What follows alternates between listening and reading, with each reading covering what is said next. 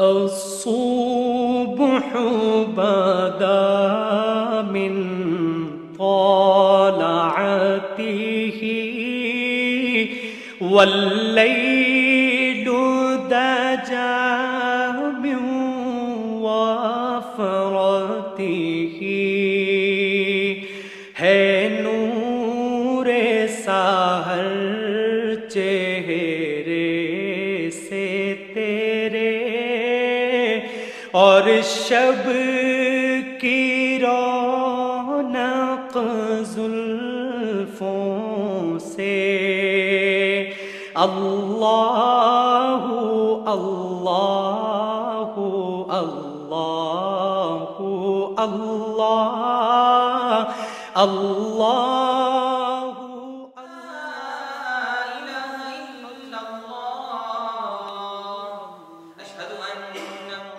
जामिया करम में मैं इसीलिए आया था क्योंकि बचपन से मेरा बहुत शौक़ था दीन पढ़ने का। असल में मेरे वालिद और वालदा वो कम्युनिटी को दीन की खिदमत के लिए तकरीबन 20 साल उनकी खिदमत कर रहे थे, कम्युनिटी को खिदमत कर रहे थे। तो जैसे मेरे वालिद साहब जाते रहते थे, आते रहते थे, महाफिल पे जाते थे, मजालस पे जाते थे तो मैं उनके साथ जाता था तो मे, मेरा भी शौक़ ऐसे बढ़ गया। तो मेरा भी दिल करता था कि मैं भी दीन और दीन हासिल करूँ। इसीलिए मैं जामिल करने में आया।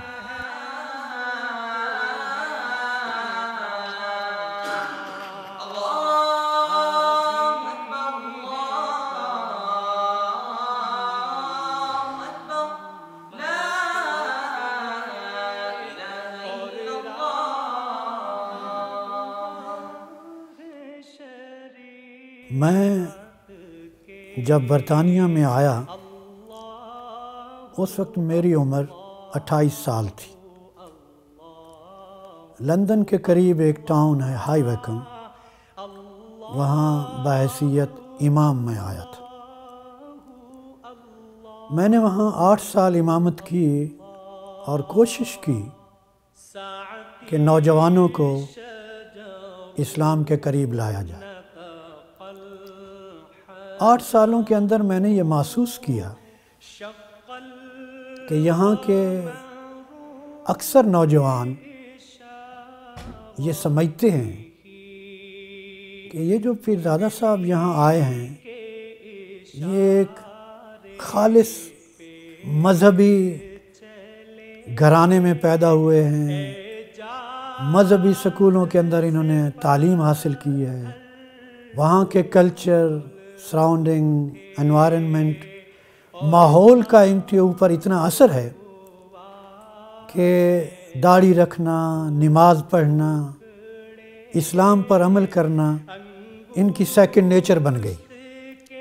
लेकिन हम लोग यहाँ एक ऐसी सोसाइटी में रहते हैं जहाँ हर जगह शैतान ने बुराइयों के जाल फैला रखे हैं और फिर गलत काम करने के रास्ते में कोई रुकावटें भी नहीं हैं तो हमारे लिए इस्लाम पर अमल करना बहुत मुश्किल है। इनके तो सराउंडिंग की वजह से इनकी सेकंड नेचर बन गई। मैंने यह प्रोग्राम बनाया कि अगर मैं इनको मुतासर नहीं कर रहा और इनके जहन में ये है कि ये मेरे कल्चर का मेरे ऊपर असर है तो क्यों ना मैं यहाँ के नौजवान को आलिम बनाऊँ? वो दाढ़ी रखे, वो इस्लाम के ऊपर अमल करे, जब वो मेरी जगह मिंबर के ऊपर खड़ा होकर जुमे का खुतबा देगा, फिर इनके जेन में ये सवाल पैदा नहीं हो सकेगा कि इसको कल्चर ने मुतासर किया है। बल्कि वो ये सोचने पर मजबूर होगा कि अगर ये हमारे साथ इन्हीं स्कूलों में, इसी कल्चर में पढ़कर मस्जिद में ख़तीब बन सकता है अच्छा मुसलमान बन सकता है तो मैं क्यों नहीं बन सकता? इस विजन के पेश नज़र मैंने मस्जिद से रिज़ाइन किया कि अब मैं मस्जिद में इमामत की बजाय मैं एक दारूम कायम करना चाहता हूँ, जिसमें यहाँ के बच्चों को मैं आलिम बनाना चाहता हूँ। वैसे भी हमारी फ्यूचर की ज़रूरत है। हम हमारे बाद अगर यहाँ का आलिम नहीं होगा जो इस कल्चर को जानता है, इस ज़बान को जानता है तो हमारा फ्यूचर डार्क हो जाएगा। चुनाचे मैंने मस्जिद से रिज़ाइन किया और मिल्टन कीन्स के अंदर, एक टू बेडरूम हाउस के अंदर पाँच लड़कों से मैंने दारूम की इब्तदा की। जाम अलकरम का जो नाम है, अलकरम, इस अरबी का लफ्ज़ है, इसके दो मानी हैं, एक नोबिलिटी और एक जनरोसिटी तो ये दो इसके अरबी के मानी हैं। दूसरी तरफ़ ये नस्बत है जस्टिस पीर मोहम्मद करम शाह अलजरी रहमतुल्लाह ताला की तरफ़, जो कि हमारे फाउंडर प्रिंसिपल के उस्ताद और शेख तरीक़त हैं। तो वो हमारे लिए जाम करम एक इंस्पिरेशन है। तो उनकी जो एक फ़िलासफ़ी थी, जो उनका एक विज़न था मुसलमानों के लिए, वो हमारे लिए मशअल राह है जाम करम में।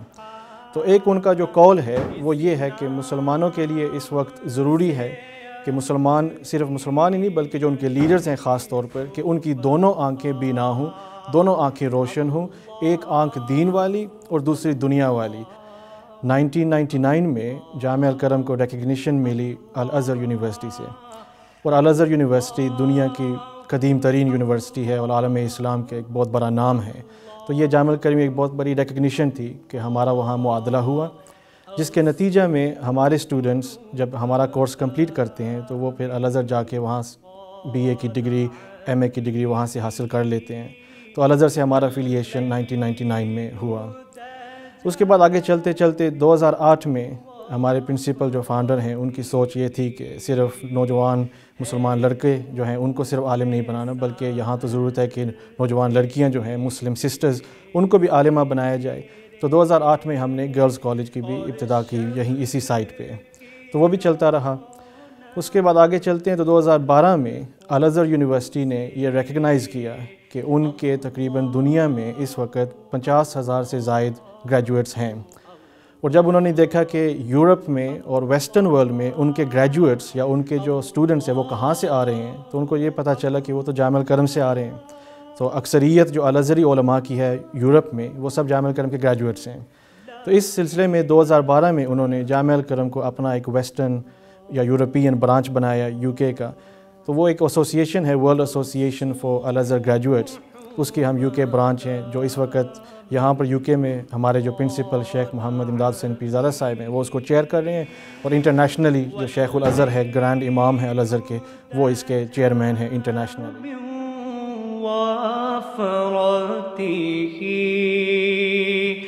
है नूर साहर चेहरे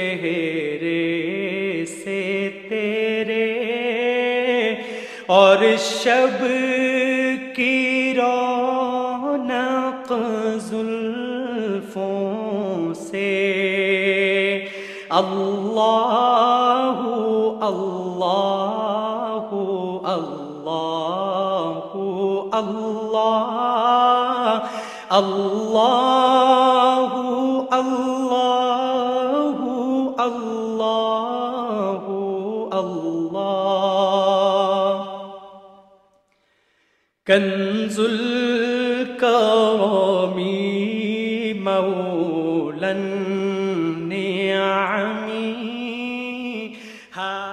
Those students who have done this course and who go from here are able then to bypass the traditional route to university which is GCSEs or A levels.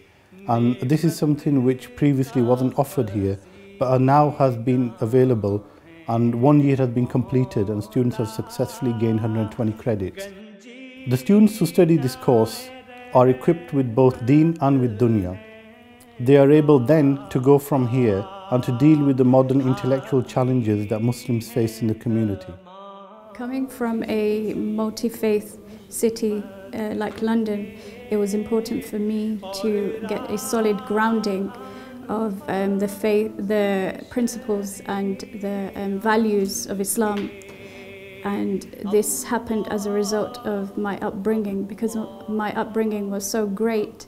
Um, uh, the interest of Islam was a keen interest of it actually was instilled within me. इस्लामी किसी को पढ़ाना इसके साथ साथ की ये तालब इल्मों की तरबियत करना ये इंतहाई ज़रूरी है। हमारे नज़रिए के मुताबिक हमारी हर कोशिश होती है कि ये स्पिरिचुअली भी डेवलप हों, इनमें मच्योरिटी भी आ जाए, इनका चलना फिरना भी जैसा, इनकी गुफ्तगु भी जैसी बन जाए। तो इस सिलसिले में हमारे कवानीन और हमारे रेगुलेशंस एंड रूल्स हैं जाम करम में। हमारा हर एक तालब इलम five times day every day उसने नमाज़ बाजमात अदा करनी है। हमारे यहाँ पे अहतफ़ाल व इज्तम होते हैं वतवास बिलहक वतवास बिसबर पर अमल करते हुए हमारे तालब इल्म एक दूसरे एक दूसरे को भी नसीहत देते हैं एवरी डे रोज़ाना तौर पे। आ, हमारा कोई ना कोई टीचर हर एक तालब इल्म को नसीहत भी देता है सो so, हमारी कोशिश रहती है हर वक्त कि स्पिरिचुअली भी हमारे तालब इल्म यहाँ पे डिवेलप हों Life at Jamia Karam has made me become more independent, more tolerant, more patient, more understanding.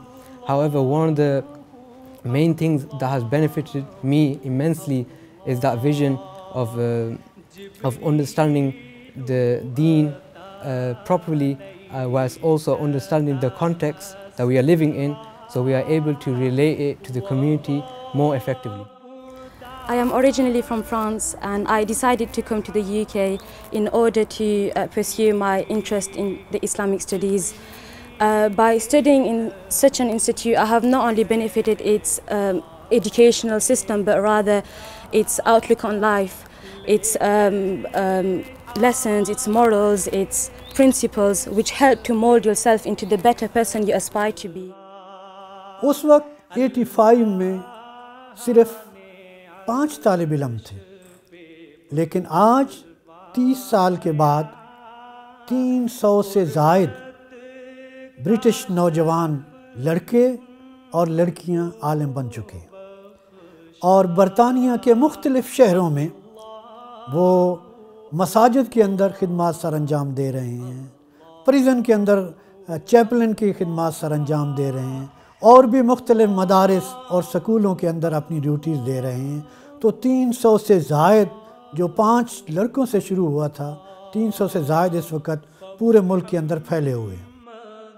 Al-Karam, this, madar, this madrasa has allowed me to um, explore various fields of professions um, such as teaching or counselling um, which will um, be available for me um, when I uh, finish my studies as we come in to learn and go out to serve.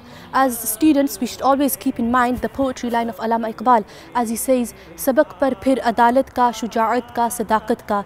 Sabak par phir sadaqat ka, adalat ka, shujaat ka. Liya jayega tujhse kaam duniya ki imamat ka. हमारा दरस निज़ामी जाम अलकरम में भी आ, उसी syllabus के मुताबिक मुल्ला निज़ामुद्दीन से हाल हुई के बने हुए सिलेबस के मुताबिक हमने भी किताबें रखी हैं। लेकिन यहाँ पे हमारे अपने दौर के मुताबिक हमारी ज़रूरियात के मुताबिक जो हमने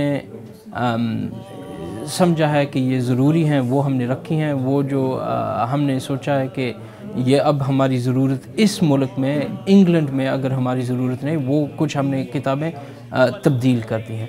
लेकिन बेसिकली हमारे कोर्स का स्ट्रक्चर है दरस निज़ामी के कोर्स का स्ट्रक्चर है, हमारे दो हिस्से हैं। एक फाउंडेशन लेवल दरस निज़ामी डिप्लोमा है जिसमें अरबी ज़ुबान, सरफ, नहव वगैरह लगत के तौर पे पढ़ाते हैं। दूसरे साल में अक्सर उसूल उसूल फ़िक हो जाए और असूल हदीस असूल तफसीर ये किताबें पढ़ाई जाती हैं। तीसरे साल में हदीस की कुतुब, तफसीर की कुतुब फ़िक की कुतुब पढ़ाई जाती हैं। ये बेसिक डिप्लोमा हमारा है, ये तीन साल का कोर्स है। इस इससे इसके बाद अगर मज़ीद हमारे स्टूडेंट्स यहाँ पे पढ़ना चाहें तो एक एडवांस्ड डिप्लोमा है हमारा, जिसमें वो फ़नूनी किताबें पढ़ाई जाती हैं। हमारा, हमारी भी एम ये है कि जब हमारे तालब इल्म तैयार होकर निकलें, वो भी अपने ज़माने की ज़रूरियात के मुताबिक तैयार होकर निकलें। Jamia Al-Karam has uh, given me this opportunity to understand the deen as well as dunya. As the great Sheikh Bir Karam Shah Al-Azhari has stated, keep both eyes open on the deen as well as the dunya. Jamia Al-Karam has provided us with a great and secure atmosphere. The teachers, the Sheikh um, himself are very helpful. Uh, I am a second year student in Jamia Al-Karam and my journey of seeking knowledge uh, uh, began after I graduated from Sheffield Hallam University. I graduated in uh, criminology in which I achieved a BA honours degree. At the same time I was also doing Hifz and I thought that this would give me a good uh, foundation as it would allow me to understand the Quran and to uh, in it, which will allow me to become close to Allah Ta'ala and Prophet wasalam. Jamil करम से इतना मतलब लगन हो गया इतना प्यार हो गया कि वालिद साहब कहते थे कि अब तुम्हारी मर्ज़ी है 21 साल के हो गए हो कहाँ जाना है तो कहते हैं, तुमने जाना जाना था बाहर के मुल्क में। मैंने कहा, नहीं, मैंने जामिल कर में रहना है। इन अब आने वाले कल अगले दो साल इन मैं इधर ही गुजारूँगा। चौथा साल और पंजवा साल इधर ही इधर ही मैं गुजारूँगा। हमारे जो एक 24 आवर सिस्टम है दारूम का, उसमें सिर्फ़ इल्मी नहीं, बल्कि फ़िक्री, जहनी अखलाकी और रूहानी तरबियत भी शामिल है, ताकि एक वेल ग्राउंडेड स्कॉलर यहाँ से तैयार हो, जो इस्लाम को सिर्फ़ समझे नहीं, बल्कि इस्लाम का एक वो सिंबल हो, वो एक मुजस्मा हो कि इस्लाम की तालीमत कैसे आज के ज़माने में वो अपनाई जा सकती हैं।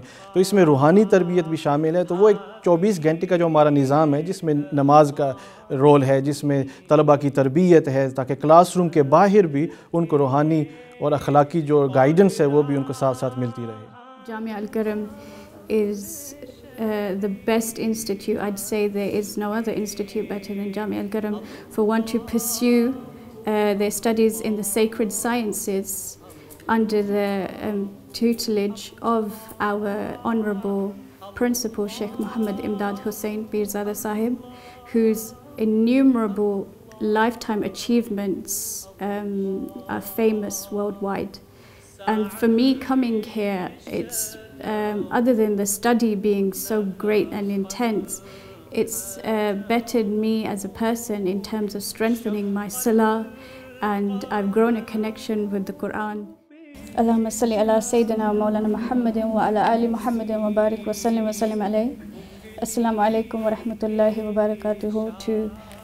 um, my beloved Ustad and respected sisters in Jamia Al-Garam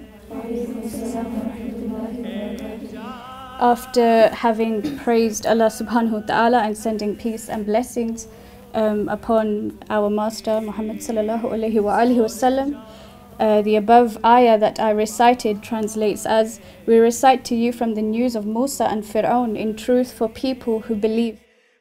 The best thing about Jamia Karam for me is uh, Jamia Karam gives you contentment. It's the contentment of us being here. The fact that you are able to recite the Quran and you understand just even if it's a, uh, even if it's just one verse of the Quran and being able to translate it, the contentment and the tranquility that you feel that cannot be explained. We also have the opportunity to sit in the company of great teachers and they help us, they love us where love is uh, love should be given and where we make mistakes they guide us and they rectify us. So that's the good thing of Jamia al-Karam. Uh, I would recommend both sisters and parents to find out about Jamia al-Karam which has been serving its people since 1985. Um, the motivation and inspiration behind its long-lasting success is Imdad al-Ummah, Sheikh Muhammad Imdad Hussain Pirzada Saab, who with their own words uh, express their passion behind the mission and they say that um, if you're planning for a year, sow rice. If you're planning for a decade, uh, plant trees. And if you're planning for a lifetime, educate the people. One of the mottos that Jamia Karam share with everyone, with every student, is come in to learn, go out to serve. And this is our sole purpose in life. Our sole purpose is to reach Allah subhanahu wa ta'ala and we can only do that by coming in to learn and then going out to serve other people so then they can also reach Allah subhanahu wa ta'ala. हमारी तो हमेशा यही कोशिश रहती है कि आलिम से पहले ये बंदे बन जाएँ अल्लाह ताला के बंदे बन जाएँ। सो so ये इसी नज़रिए के मुताबिक स्पिरिचुअली जो भी हम कर सकते हैं आ, हम इनके लिए आ, करते हैं। चाहे वो इज्तमाही लेवल पे हो आ, चाहे वो ज़ाती लेवल पे हो। हम कभी किसी के तालब इम से आ, अगर गुफ्तु करें हो सकता है वो पर्सनली हम बात करें हो सकता है हम क्लास में बैठ के बात करें। लेकिन स्पिरिचुअली हम जितनी भी कोशिश कर सकते हैं तो हम करते हैं कि ये डेवलप हों। सोहबत जो मिलती है इस के साथ बैठना, इनसे सीखना, और जो इनके एक्सपीरियंस है लाइफ एक्सपीरियंस और जो हमें बताते हैं, वो सीखना, वो लेना, वो अपनाना, वो बहुत बड़ी बात है। इसीलिए हर वक्त हमें सिखाते रहते हैं कि एक आँख दुनिया पे रखो और एक आँख दीन पे रखो। अब सिर्फ़ दीन की बात नहीं है स्पेशली यूके में रह के दीन की बात नहीं नहीं रहती। अब दुनिया की, दुनिया को भी देखना चाहिए अच्छा शहरी भी बनना चाहिए have be a good citizen and there is no better environment to be in than the environment that we are blessed with here where being a daughter it's you know always a worry for a parent you know what kind of a environment the daughter is brought up in. But this is one of the safest and securest and uh, you know blessed environments you could be brought up in. Jamia Al Karam strives exactly for this every day, and that is evident through our motto: "Come in to learn, go out to serve." We also have the opportunity to sit in the company of great teachers and they help us, they love us where love, is, uh, love should be given and where we make mistakes they guide us and they rectify us. So that's the good thing of Jamia Al-Karam. मैं ये तमाम किराम को दावत दे रहा हूँ कि आज हम जो बरतानिया के अंदर, सैकड़ों मसाजिद के अंदर इमामत और ख़िताबत कर रहे हैं, ये हमारे बुज़ुर्गों ने दारुल बनाए थे, जिनमें हम पढ़े हैं और आज हम ये इमामत और ख़िताबत कर रहे हैं इसी तरह हमें यहाँ भी अप टू डेट दारुल बनाने चाहिए अगर हम नहीं बनाएँगे तो 50 साल बाद हमारी मसाजिद के अंदर इमाम और ख़तीब कहाँ से आएँगे